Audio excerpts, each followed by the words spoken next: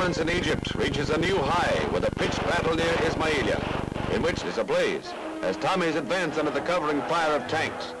With a final thrust, the Brit following the brief but bitter fight.